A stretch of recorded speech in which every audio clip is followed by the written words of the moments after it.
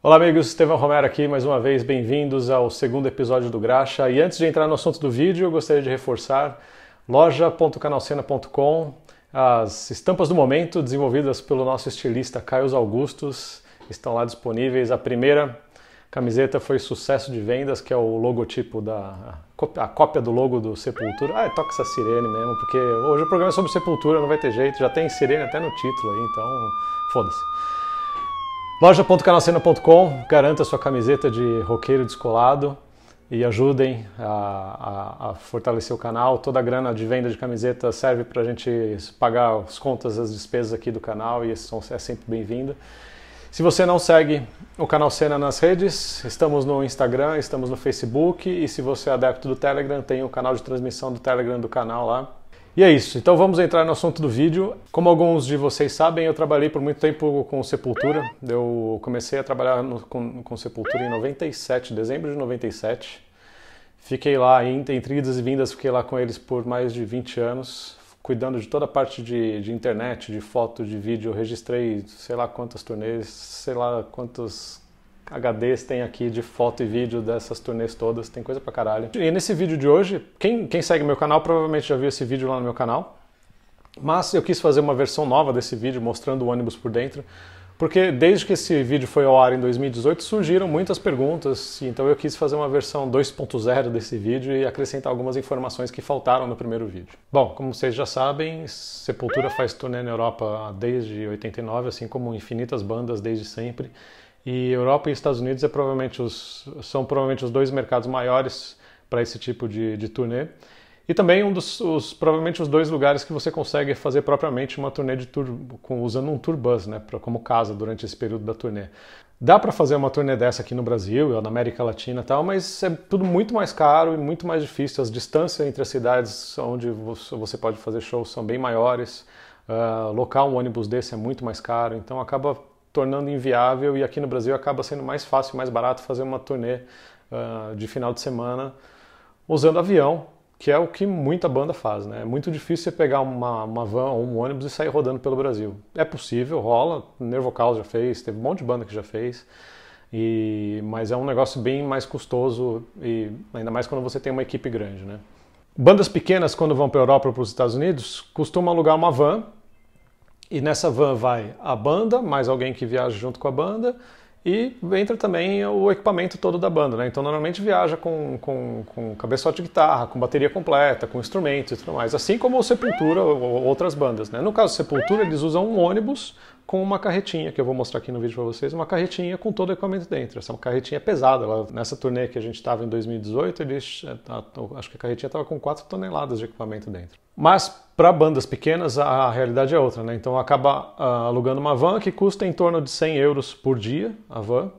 E se você converter isso para real, lógico que o valor fica alto, mas como a, o orçamento da turnê é em euro, 100 euros acaba ficando acaba sendo um preço relativamente ok dentro do orçamento em euro da, da turnê. Né? E numa turnê de van, as bandas pequenas costumam chegar no lugar do show, Uh, faz o show, almoça, janta, seja o que for, dependendo do horário, faz o show e dorme na própria casa de show. As, as casas de show lá na Europa elas têm uma estrutura muito boa para receber bandas. Então, normalmente tem uma área para as bandas dormir, tem uma área com beliches, com chuveiro e tudo mais. Então, as, as bandas normalmente chegam na cidade, são recebidas com refeição, fazem o show e acaba ficando pela casa de show mesmo, dormindo por lá, ou vai para dormir na casa do promotor ou, de alguém que esteja recebendo a banda, né? Isso é bem comum. No caso de bandas maiores, como é o caso do Sepultura, são quase 20 pessoas viajando junto. Então a logística disso tudo é muito diferente, porque você não pode, você não pode chegar numa cidade fazer um show e colocar 20 pessoas num hotel para depois no outro dia acordar essas 20 pessoas e pegar a estrada. Acaba ficando um processo lerdo. Por isso que existem os turbus. Os turbus são como se fossem casas dentro mesmo, né? Então, uh, tur esses turbus, dependendo da configuração, eles podem acomodar até 20 pessoas dormindo, confortável, com uma cama em tamanho natural, não é cama mini cama nem nada, assim, é uma cama de verdade mesmo, Vou mostrar também no vídeo para vocês. E o Sepultura usa um turbus muito legal na Europa, que é alugado. Não conheço banda que tem um turbus próprio, porque não faz sentido. Tem muitas empresas lá na Europa que você pode alugar esse tipo de, de ônibus com motorista que cuida da manutenção e tudo mais. Então, a, normalmente você faz um orçamento com uma, uma, empresa de locação de ônibus e fala: ah, minha turnê vai ter 60 dias, eu, prefiro, eu preciso de um ônibus para 16 pessoas com uh, motorista e o roteiro é esse. No roteiro, vai, a empresa vai definir se vai precisar de motorista reserva, porque às vezes tem viagens que são 24 horas dirigindo, sei lá, tô chutando, mas já teve caso. Teve uma viagem que a gente fez uma vez que foi, sei lá, não vou lembrar, foi tipo Espanha-Suécia, um negócio assim. Não, não foi isso, mas foi um negócio absurdo. Foram 23 horas dentro do ônibus. Então a empresa mandou três motor... dois motoristas além do nosso motorista oficial, para eles poderem ficar revezando e o ônibus não parar, porque era um show. A gente tinha um dia só para fazer essa viagem e o ônibus não podia parar. Então tem esses casos que a, essa parte de logística, de motorista e tudo mais, a empresa cuida e faz essa, essa, essa inteligência para que o roteiro da banda seja cumprido. Né? Então, numa turnê de tour bus, o que acontece é o seguinte: a banda chega no lugar do show, normalmente chega, chega na Europa, em alguma cidade, sempre, quase sempre é na Alemanha, porque é onde fica a maioria das empresas de ônibus, ou fica na Alemanha ou fica na Inglaterra. Então é bem comum uma turnê do Sepultura começar sempre pela Alemanha, porque é de onde parte ônibus, onde aluga equipamento também. Então normalmente a banda chega na, em alguma cidade da Alemanha, pega o ônibus, vai pegar equipamento e cai na estrada a banda, o ônibus para no, na, nos fundos da casa de show, a equipe descarrega o equipamento e monta o palco, acabou o show, desmonta o palco, coloca tudo dentro da carretinha no ônibus de novo e parte para a próxima cidade. Então, normalmente, a, a, gente, a gente acaba o show, vai para o ônibus umas duas, três, quatro da manhã, fica dentro do ônibus bebendo um pouco tal, e vai todo mundo dormir e viaja dormindo todo mundo. Né? O motorista tem um horário invertido, ele dorme durante o dia e, e, e fica acordado dirigindo à noite. Então vira uma casa para todo mundo, né? Esse ônibus. Todo mundo mora. A gente, a gente sai do show e fica confraternizando lá depois do show, bebendo uma, jogando videogame, não sei o quê. Acorda de manhã, o ônibus já está na cidade que vai ser o próximo show e vai, e vai fazendo isso. Já teve show, que, já teve turnê que a gente fez de 38 shows seguidos. Então você imagina, atravessar a Europa inteira, cada dia você está numa cidade, cada dia você está num país diferente. Você entra no ônibus num país, dorme, acorda em outro país, faz show e 38 dias sem folga, sem descanso, sem nada. É bem, é bem cansativo. Então, é, quanto mais confortável for o ônibus, quanto mais tranquila for a equipe, essas turnês ficam muito mais fáceis, né? Enfim, já falei pra caralho. Se vocês tiverem perguntas, mandem suas perguntas, eu vou responder. Eu tentei colocar o máximo de informação que eu tinha complementar aqui em relação ao outro vídeo.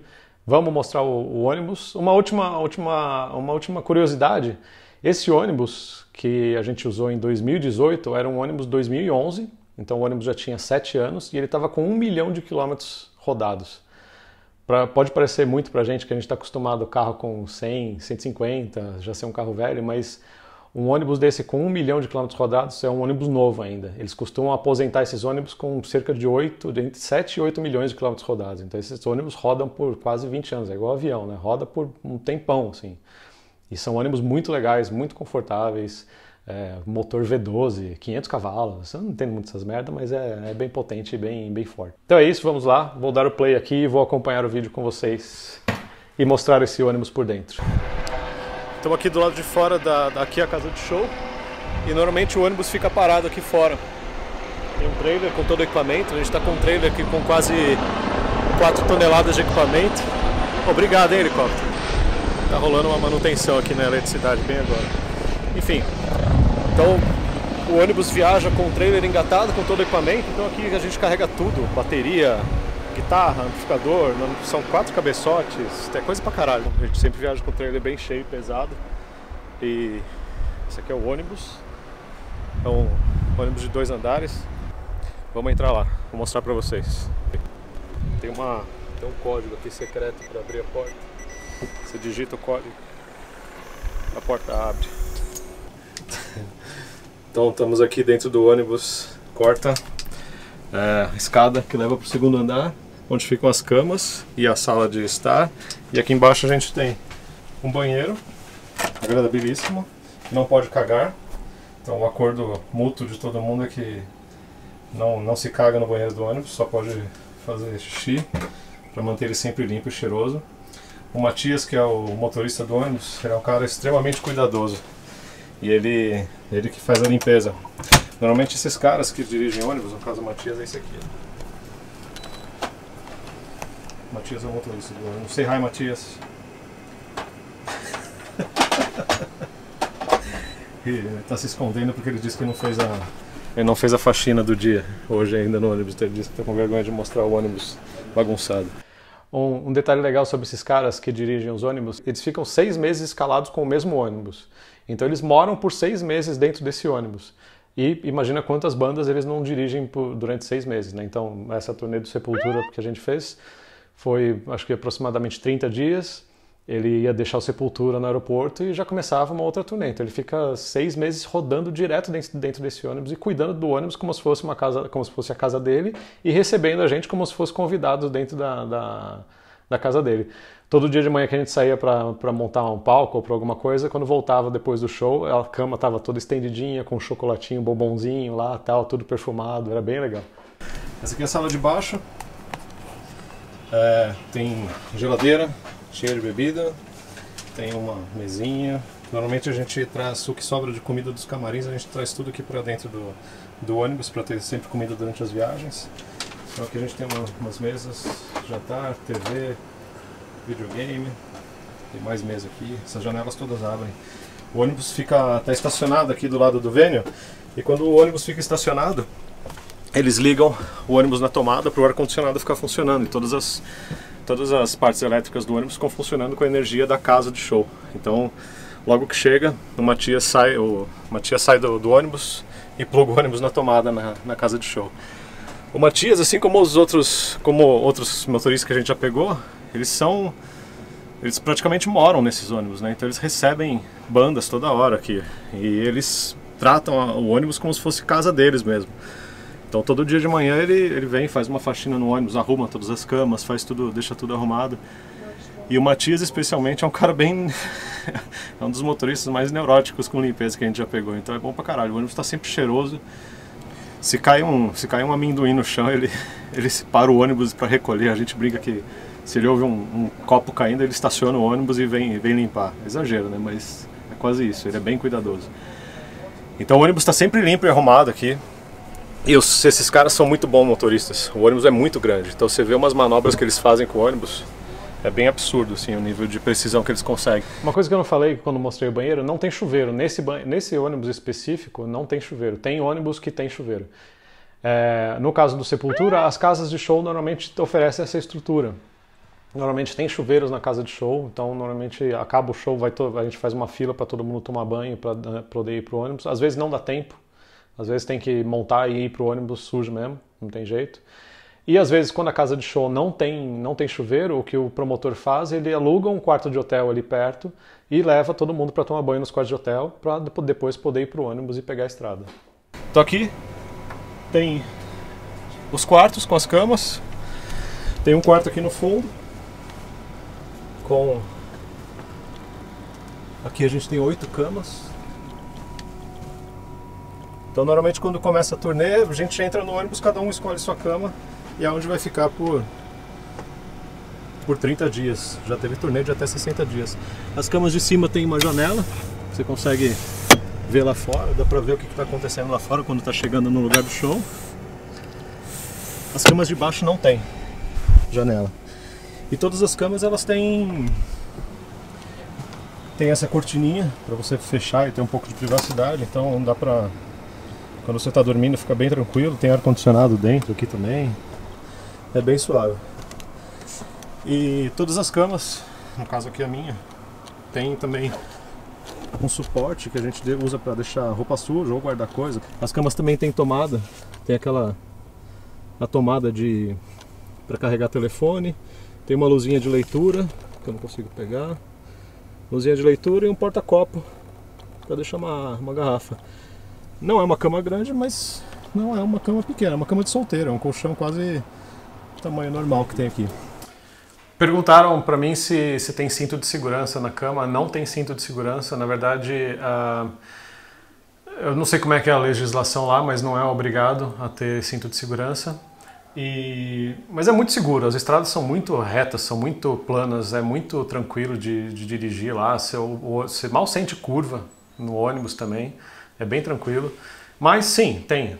Tanto que um dos acidentes mais conhecidos é o do, do Cliff Burton do Metallica. Ele, o ônibus tombou por causa da neve, escorregou na neve, o ônibus tombou e ele foi arremessado pela janela talvez se tivesse cinto de segurança ele não tivesse morrido, né? Não sei como é que é a circunstância do acidente, não vou opinar nisso agora. Mas, é como eu falei, a, a, as estradas são muito tranquilas, as pessoas são muito tranquilas no trânsito lá, é, é, um trânsito rápido, mas todo mundo muito educado e muito respeitoso, principalmente caminhões e ônibus, que são os, os veículos grandes da estrada, eles estão sempre na faixa da direita, sempre sinalizando um para o outro quando vai fazer ultrapassagem, quando tem perigo, é bem tranquilo, nunca tivemos problema nenhum, assim, nunca precisou de nada. E daí aqui em cima ainda tem uma sala, que é a sala de. É outra sala de estar que a gente usa pra. Normalmente depois do show a gente vem pra cá pra descansar. Tem videogame aqui, então vou colocar um, um insert do pessoal jogando videogame aqui. A gente fica. A gente tem jogado bastante o, o GT5 aqui. Eloy, o maior cortador de grama no GT5. Tem um PlayStation 3 uma TV grande, então dá pra passar o tempo aqui quando não tem muito o que fazer. Dependendo do lugar do show. Peraí, deixa eu arrumar isso aqui, essa luz. Tem isso aqui também, você pode mudar, escolher a cor da luz. E também essas janelas abrem, né? Então, por exemplo, quer ver? Eu consigo abrir as janelas. E consigo abaixar a TV também. A TV é uma janela, no caso, né? Então você esconde a janela 100% luxo. É um ônibus caro, é um, eu acho que um ônibus novo desse custa coisa de 500, 600 mil euros. É, a locação desse ônibus é cara, custa, acho que custa em torno de 900 euros por dia um, a, o aluguel do ônibus desse. Mas se você fizer uma conta, 16, 17 pessoas dentro de um ônibus, viajando, dormindo, é, comendo tudo lá dentro, é muito mais barato e muito mais rápido do que você colocar essas 17 pessoas num hotel. Se qualquer hotel que você colocar essas pessoas, você vai gastar muito mais que 900 euros por dia e vai ficar parado perdendo tempo de turnê, né, que você podia estar fazendo show. E é uma sala bem agradável aqui, bem. Tá aberto, fica bem melhor. Daí quando não está usando a TV, a gente deixa a janela aberta. Aqui de manhã, eu, eu normalmente sou o primeiro a acordar sempre aqui no ônibus. Então eu venho cedinho para cá, para essa sala, abro a janela, a gente tá, consegue ver a estrada, acompanhar o caminho. É bem foda. Tem algumas estradas que são bem bonitas. Chegando aqui na Suíça essa, esses dias, é bem legal vir dirigindo, ver a estrada dirigindo pelos, pelos Alpes. E, e muitos, e daí quando, quando tá, como tá todo mundo dormindo, normalmente eu fico tranquilo aqui, quieto, editando os vídeos aqui nessa sala. O ar-condicionado aqui é bom também, não balança muito. A gente está no segundo andar do ônibus, né? então é bem, bem estável, bem tranquilo aqui é bom que tem ônibus confortável, porque normalmente a gente fica em turnê, já teve turnê que a gente ficou 60 dias trancado no ônibus, né? então são 16 pessoas convivendo na mesma casa, que é o ônibus, praticamente direto, né, e sozinhas, então tem que todo mundo ajudar a cuidar, deixar manter o ônibus sempre limpo. O Sepultura não é uma, uma banda, nem, nem equipe nem banda que faz muita bagunça, então normalmente a gente sai do show, vem aqui para a sala de baixo, toma toma, toma uns vinhos, toma um whisky e vai cada um para sua cama, dorme tranquilo e no dia seguinte show. Então é, é uma turnê que você tem que descansar bastante porque tem show direto. A gente está no Porra, eu tô muito mais estiloso de bigode. Só a Nata, é a única pessoa no mundo que reprova esse bigode aqui, maravilhoso. É uma turnê que você tem que descansar bastante porque tem show direto. A gente está no sexto, sétimo dia seguido e é bem cansativo. Hoje a gente está numa casa de show bem legal, então não fica ninguém no ônibus. Tá todo mundo lá na casa porque tem, tem a comida lá, tem tem o camarim, tem sofá, tem tudo para o pessoal ficar tranquilo. Normalmente quando é festival, que a estrutura é um pouco mais improvisada, a gente acaba ficando no ônibus também, então tem que manter ele sempre limpo e arrumado. E no ônibus tem ar-condicionado, né? Tá um verão desgraçado aqui, a gente está sofrendo de calor. Daí às vezes o, o ônibus serve de abrigo para ficar todo mundo tranquilo e, e frio.